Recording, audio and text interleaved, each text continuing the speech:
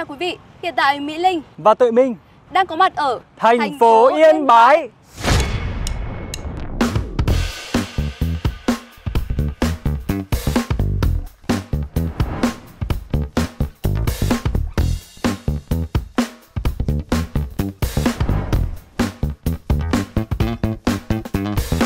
Tuệ Minh này, à, với bạn thì hạnh phúc là gì?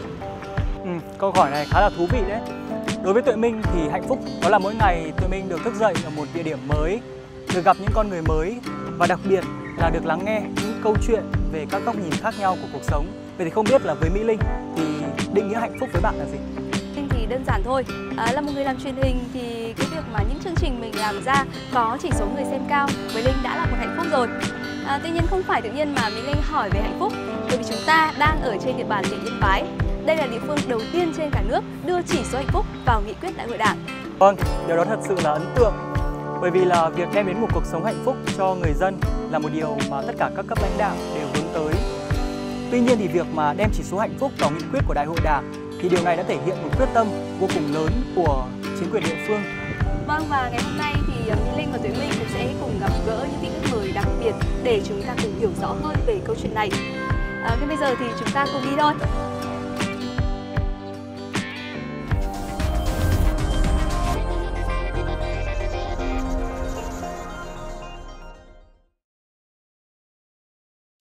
Và vị khách mời đầu tiên trong chương trình Việt Nam bền vững ngày hôm nay đó chính là ông Trần Huy Tuấn, Phó Bí thư tỉnh ủy, Chủ tịch Ủy ban nhân dân tỉnh Yên Bái. Vâng, xin được cảm ơn ông đã nhận lời mời tham gia chương trình của Đài truyền hình kỹ thuật số VTC ngày hôm nay. Vâng, thưa ông Trần Huy Tuấn, Yên Bái là địa phương đầu tiên trên cả nước đưa chỉ số hạnh phúc vào nghị quyết Đại hội Đảng, Đại hội đại biểu Đảng bộ tỉnh lần thứ 19, nhiệm kỳ 2020-2025. Vì sao lại có quyết định này thưa ông? Đối với một địa phương thì dù có phát triển đến mức độ nào thì cũng đều có một cái mục tiêu hướng đến cái cuộc sống à, ấm no đầy đủ và hạnh phúc cho người dân. Cho nên rằng là các cái mục tiêu hay mục đích phát triển thì đều hướng tới người dân để đánh giá cụ thể chỉ số hạnh phúc ấy, thì nó dựa trên ba cái chỉ tiêu chính. Đấy là sự hài lòng của người dân về cuộc sống thứ hai nữa là sự hài lòng về cái môi trường sống. Và thứ ba là cái chỉ số bình quân về tuổi thọ.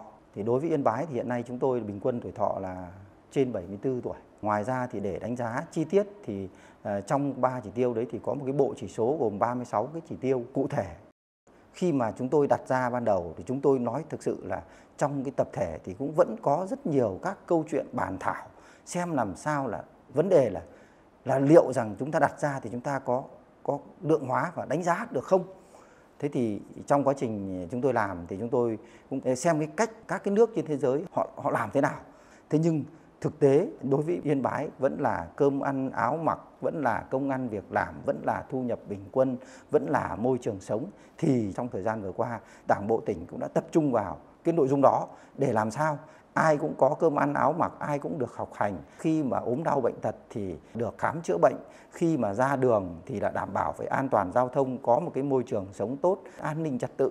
Khi mà không may mà có xảy ra thiên tai thì luôn luôn là có sự đồng hành của cộng đồng hay chính quyền quan tâm, chia sẻ và hỗ trợ. Và cụ thể hóa trong nhiệm kỳ thì chúng tôi cũng đã chủ động xây dựng cái chương trình xóa nhà rột nát cho những người mà khó khăn về nhà ở thì hàng năm mà chúng tôi phấn đấu là hết năm 2024 này thì chúng tôi đã hoàn thành toàn bộ các cái hộ mà đang hiện hữu ở trên địa bàn tỉnh mà khó khăn về nhà ở thì là đều có được căn nhà để ở. Thế thì đấy là chúng tôi cũng đã nỗ lực cố gắng để cho người dân cảm nhận được cái sự quan tâm, động viên, đồng hành của cộng đồng cũng như là của chính quyền đối với lại ờ, một cái cộng đồng ờ, 30 dân tộc cùng sinh sống trên mảnh đất Yên Bái này. Ờ, vâng thưa ông, ờ, trong quá trình chúng ta hướng tới mục tiêu đạt ờ, chỉ số hạnh phúc cho người dân thì cái quá trình chuyển đổi số cũng đóng một vai trò hết sức quan trọng. Thưa ông vậy thì trung tâm IOC tỉnh và nền tảng Yên Bái S đã phát huy hiệu quả như thế nào trong quá trình triển khai là kênh kết nối giữa chính quyền với người dân của tỉnh? Một địa phương miền núi chia cắt địa bàn rộng à, gọi là đa dân tộc thì chuyển đổi số đem lại một cái hiệu quả rất là lớn đối với Yên Bái và kết quả à, đã được à, khẳng định bằng cái việc chỉ số DTI năm 2022 của chúng tôi là được Bộ Thông tin Truyền thông đánh giá là xếp thứ 15 trên 63 tỉnh thành. Thế thì à, quay về cái EOC thì chúng tôi đã, thứ nhất là tập trung xây dựng cái trung tâm này. Thế và qua cái nền tảng Yên Bái S thì theo như thống kê thì chúng tôi đã có khoảng độ 60% người trưởng thành có cái tài khoản là kết nối nền tảng Yên Bái S. Ở đây thì nó là thông tin hai chiều, tức là một chiều là người dân là phản ánh kiến nghị doanh nghiệp, phản ánh kiến nghị đề xuất với các cấp chính quyền. Thứ hai nữa là triển khai các cái chỉ đạo của tỉnh, ban hành công bố các cái chính sách thì là đến với người dân rất là nhanh. 25 cái dịch vụ công trực tuyến theo cái đề án 06 ấy, thì cơ bản là Yên Bái là đã triển khai được rồi. Ờ, mặc dù địa phương Yên Bái thì cũng còn khó khăn nhưng chúng tôi đã làm một cái việc khuyến khích người dân sử dụng cái dịch vụ công trực tuyến. Trước đây thì người dân sử dụng dịch vụ công trực tuyến thì phải có cái tài khoản để nộp phí. Thế nhưng hiện nay thì chúng tôi ban hành một cái chính sách tỉnh sẽ bỏ cái kinh phí đó ra để hỗ trợ cho người dân. Đấy, gọi là bây giờ các cái người dân mà sử dụng cái dịch vụ công trực tuyến thì không mất phí.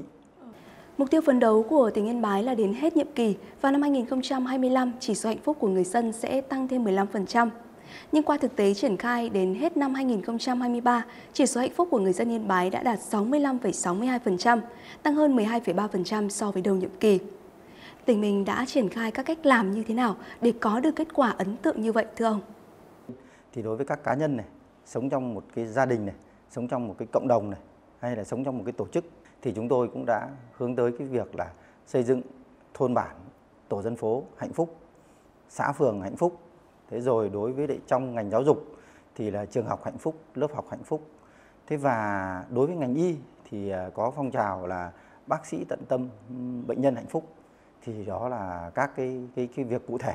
Thế và chúng tôi phấn đấu là khi kết thúc năm 2024 này thì chúng tôi hoàn thành cái chỉ tiêu mà chúng tôi đặt ra ở trong nghị quyết Đại hội Đảng bộ lần thứ 19.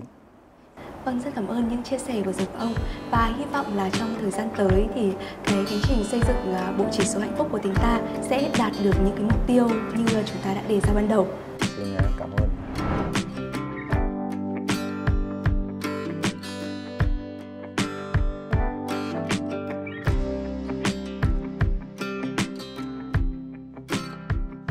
Vị là Tuệ Minh hiện đang đứng tại sân nhà văn hóa của xã Việt Thành, huyện Trấn Yên thuộc tỉnh Yên Bái và Tuệ Minh có đang lắng nghe được là nơi đây đang có những tiếng nhạc vô cùng là vui nhộn và náo nhiệt và tôi đang rất tò mò rằng là không biết bên trong đang diễn ra hoạt động gì. Vậy thì xin mời quý vị hãy cùng theo chân Tuệ Minh để cùng khám phá xem sự kiện gì đang diễn ra ở bên trong đây nhé.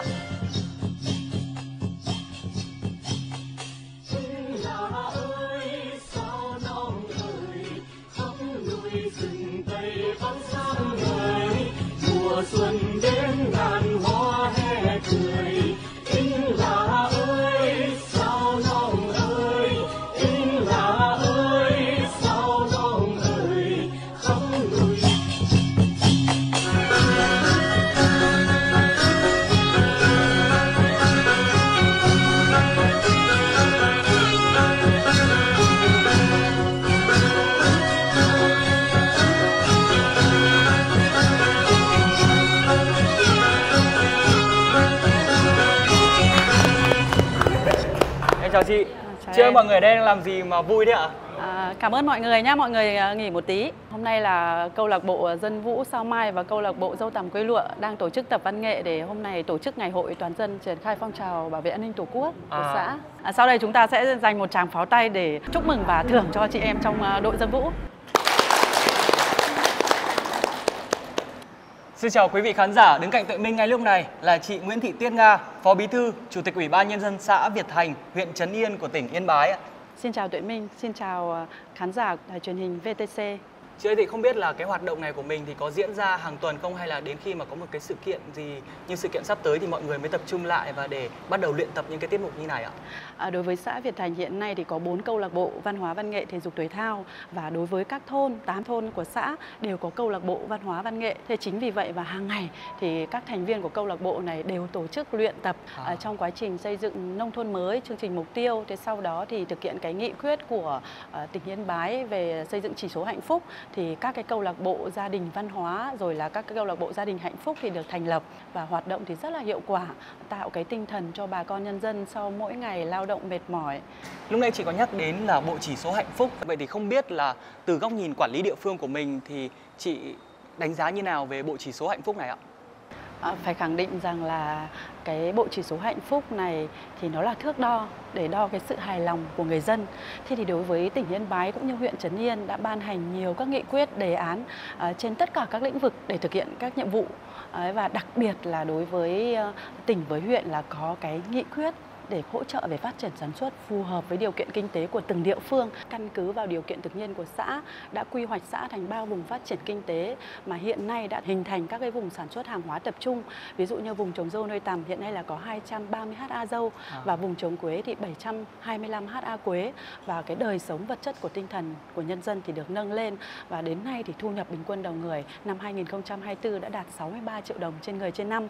Thế và toàn xã hiện nay chỉ còn một độ nghèo không biết là trong thời gian vừa qua thì địa phương của mình đã triển khai những mô hình hạnh phúc này như nào ạ? Ví dụ như là trường học hạnh phúc này, gia đình hạnh phúc hay là môi trường công sở hạnh phúc ạ? Chị có thể chia sẻ thêm về những mô hình này được không ạ? À, ngay sau khi thực hiện nghị quyết của Đại hội Đảng bộ tỉnh về cái thực hiện cái chỉ số hạnh phúc này thì đối với xã Việt Thành, à, Đảng ủy thì có nghị quyết và Ủy ban nhân dân thì có cái kế hoạch triển khai hết sức là đồng bộ và chi tiết, giao nhiệm vụ cụ thể cho từng ngành, huy động cái sự vào cuộc của cả hệ thống chính trị, tạo cái sự đồng thuận của nhân dân trong cái việc mà phấn đấu xây dựng dựng người dân là thực sự là hạnh phúc. Thì đến nay thì xã Việt Thành đã có mô hình là lớp học hạnh phúc, trường học hạnh phúc, 8 trên 8 thôn đã đạt thôn hạnh phúc và hàng năm thì có trên 98% là hộ gia đình được công nhận là gia đình hạnh phúc. Và đối với ờ, Ủy ban dân xã Việt Thành thì trụ sở làm việc thì đã được huyện công nhận là à, mô hình công sở xanh chị thấy là người dân mình thay đổi tích cực nhất về cái việc tham gia cộng đồng như nào? Ý thức giữ gìn vệ sinh môi trường thì bà con dân thực hiện rất là triệt để, 100% hộ dân trên địa bàn xã đều thực hiện phân loại rác thải. Các thôn thì định kỳ hàng tháng là có một ngày à, quy định để bà con nhân dân ra ngoài đường vệ sinh đường làng ngõ xóm, chăm sóc đường hoa cây cảnh, à, tạo cái cảnh quan môi trường ở thôn là sáng xanh sạch đẹp. Thì có thể sau đây thì mời Tuệ Minh đi trải nghiệm cái mô hình này. À dạ vậy thì tốt quá. Chứ chị không biết là ở xã mình thì có bao nhiêu đoạn đường mà mọi người sẽ chăm sóc cũng như là trồng hoa và tạo ra một cái không gian để mọi người sinh hoạt như này ạ? Trên địa bàn xã thì hiện nay là có 2 km đường tỉnh lộ đi qua. Thế còn đường liên thôn ấy, thì xã có 15 km và đối với đường ngõ xóm và đường nội đồng thì xã có trên 40 km đường. Đường thuộc địa phận thôn nào thì thôn đấy quản lý và huy động nhân dân à, để ra để vệ sinh à, đường là ngõ xóm rồi chăm sóc đường hoa để tạo ra cái à, môi trường và cái bộ mặt của thôn lúc nào cũng sáng xanh sạch đẹp.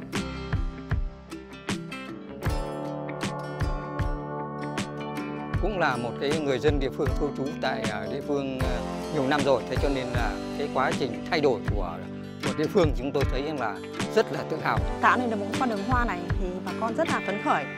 Khách người ta đi qua con đường này người ta còn đứng lại chụp ảnh được à, ủng hộ của nhà nước rồi thì của bà con nhân dân là đã làm được đường làng ngõ xóm vào. Tất cả các ngõ xóm là đều bê tông hóa hết đường đủ tiêu chuẩn 3 mét. Cái việc đi lại giao thương của bà con nhân dân cũng như là các cái địa phương khác được rất là thuận lợi tạo điều kiện là nâng cao cái và phát triển kinh tế của bà con nhân dân. So với đời sống ngày xưa với bây giờ thì với đời sống bây giờ đầy đủ từ những cái phương tiện đi cũng như là phương tiện nghe nhìn và các cái thông tin đại chúng đều nắm bắt được nên các bà con rất là phấn khởi với cái cuộc sống bây giờ. Đời sống văn hóa bà con ngày thì đi làm nhưng mà sắp xếp tối về vẫn là ra coi như là sinh hoạt văn hóa cộng đồng tại thôn rồi được bóng truyền cầu lông là đều được nâng cao đầy đủ và vào rất là quy củ. Khái niệm hạnh phúc có thể trừu tượng, nhưng đang hiện hữu vô cùng rõ ràng trên khuôn mặt của những người dân nơi đây. Tạm biệt chị Nga và những người dân thôn Phú Mỹ. Tôi hy vọng rằng họ sẽ tiếp tục tinh thần nhiệt huyết này để xây dựng quê hương ngày càng tươi đẹp và hạnh phúc hơn. Minh này, hôm nay sau một ngày trải nghiệm ở xã Việt Thành, huyện Trấn Yên thì Tuệ Minh có cảm giác như thế nào? Quả thật cái điều mà Tuệ Minh ấn tượng nhất có lẽ là sự đồng lòng của chính quyền địa phương cũng như là bà con, người dân ở nơi đây. Và Tuệ Minh tin rằng là chính sự gần gũi này, sự quyết tâm và đồng lòng như vậy thì chắc chắn sẽ giúp cho quê hương của họ trong tương lai sẽ ngày càng phát triển tốt đẹp hơn nữa. Vâng, chắc chắn là như vậy rồi. Và ngày hôm nay, sau cuộc trao đổi với Phó Bí thư tỉnh ủy, Chủ tịch Ủy ban nhân dân tỉnh Yên Bái, Mỹ Linh cũng đã hiểu sâu sắc thêm về cụm từ chỉ số hạnh phúc Linh cũng hy vọng là trong thời gian tới thì mô hình chỉ số hạnh phúc này cũng sẽ được nhân rộng ra trên cả nước và một tương lai không xa thì Việt Nam chúng ta cũng sẽ nằm trong top những quốc gia hạnh phúc. Và đến đây thì chương trình Việt Nam bền vững số tuần này cũng xin phép được khép lại. Xin cảm ơn quý vị đã quan tâm theo dõi và ủng hộ chương trình. Và cũng xin được cảm ơn công ty cổ phần lọc hóa dầu Bình Sơn đã đồng hành cùng chương trình. Còn bây giờ, Xin chào và hẹn gặp lại.